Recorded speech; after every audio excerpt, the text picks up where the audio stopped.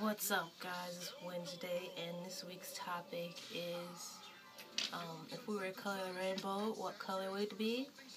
And the color I would be is blue and it just so happens I'm wearing a lot of blue right now but that's totally by accident. So I would be that color because not only does it represent water, it also represents air and if I could be any kind of bender, I would be an airbender because airbenders are the best benders ever. So yeah, blue is also my one of my favorite colors. So, deuces.